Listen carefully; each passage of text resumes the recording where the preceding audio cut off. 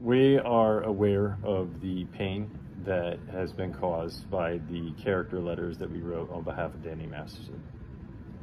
We support victims. We have done this historically through our work and will continue to do so in the future.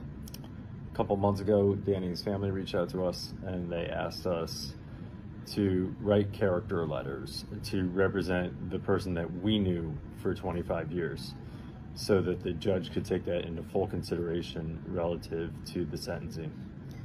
The letters were not written to question the legitimacy of the judicial system or the validity of the jury's ruling.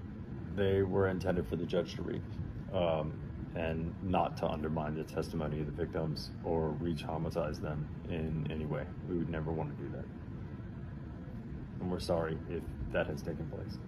Our heart goes out to every single person who's ever been a victim of sexual assault, sexual abuse, or rape.